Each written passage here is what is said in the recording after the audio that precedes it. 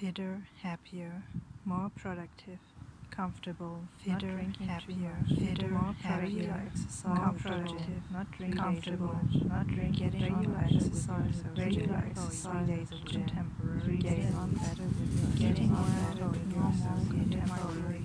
contemporary, eating well, normal, eating well, mark normal, mark safe car, a a patient, a patient, a safe car, a safe car, smiling in back, baby smiling in in back, backseat, no bed, calm, fitter, healthier, and more productive,